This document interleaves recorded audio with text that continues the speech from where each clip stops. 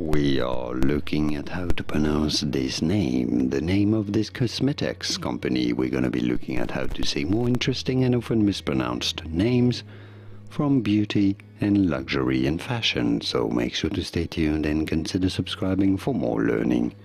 How do you say it? In the UK, it is generally pronounced as Avon, Avon, although some do pronounce it as Avon, Avon as well more in the US, I think, Avon, or generally speaking, Avon. And now you know. Here are more videos on how to pronounce more interesting words and names whose pronunciations aren't always obvious. I'll see you there to learn more. Thanks for watching.